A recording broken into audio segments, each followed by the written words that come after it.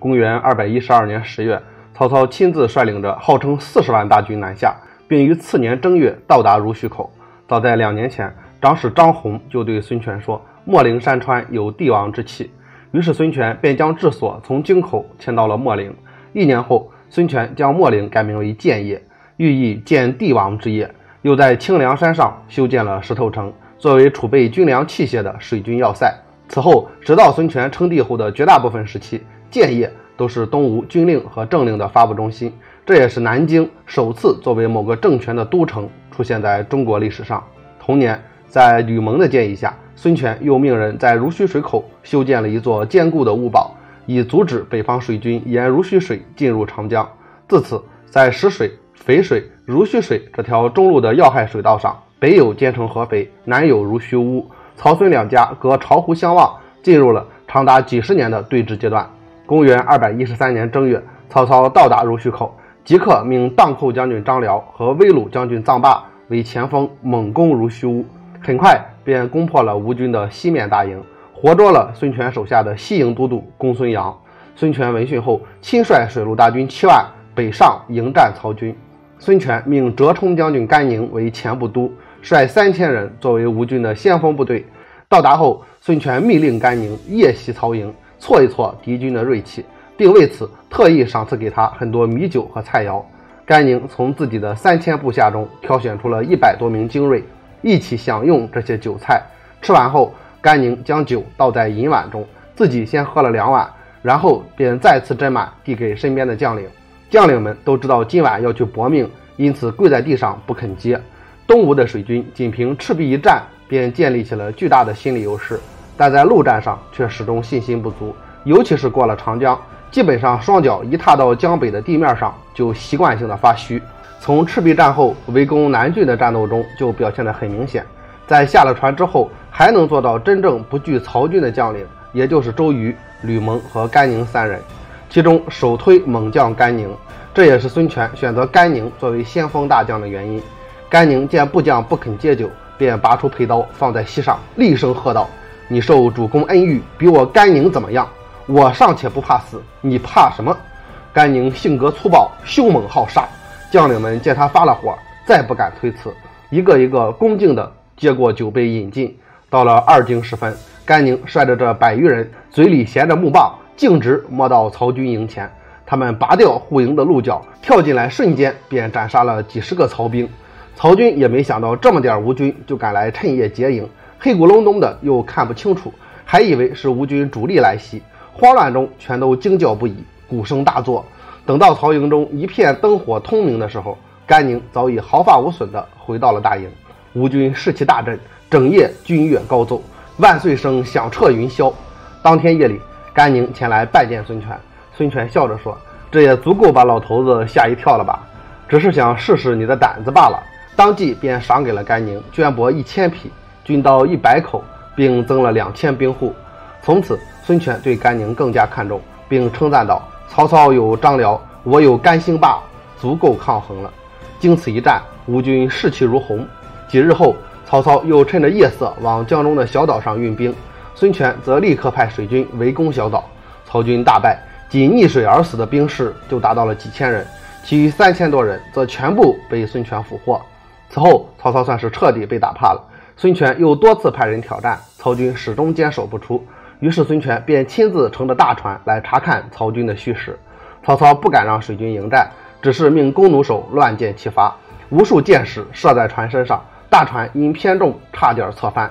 幸亏孙权具备丰富的行船经验，他命兵士们调转船身，再用大船的另一面受箭。等到船身平稳后，安然撤回营内。这就是小说里草船借箭的故事原型。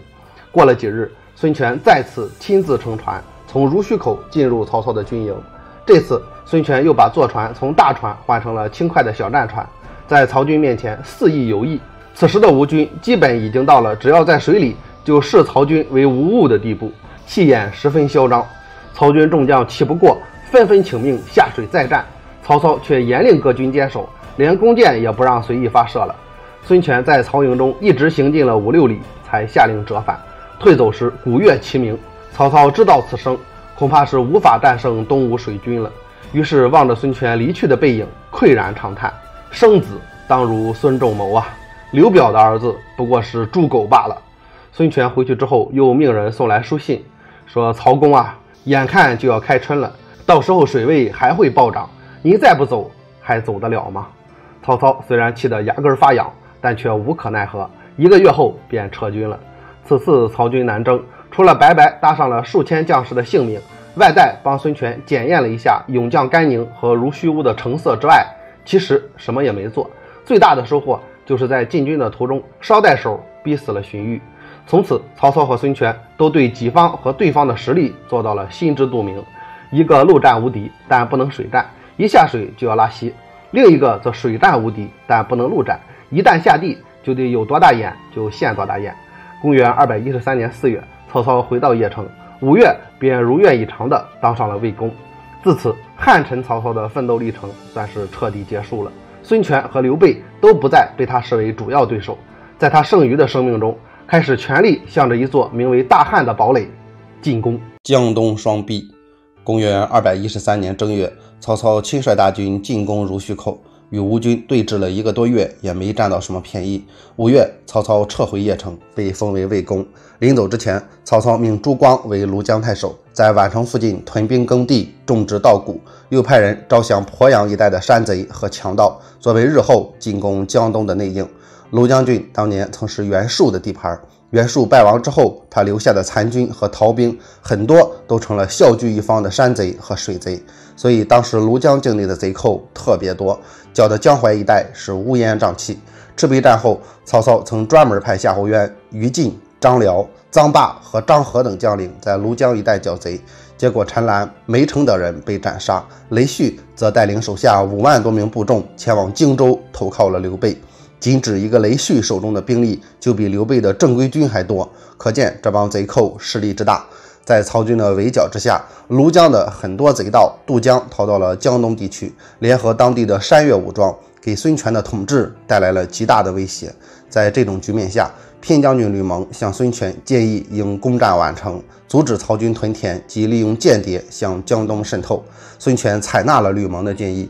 公元二百一十四年五月，恰逢长江流域连续大雨，致使水位暴涨。于是孙权便趁机亲率大军溯江而上，进攻宛城。庐江太守朱光据城坚守。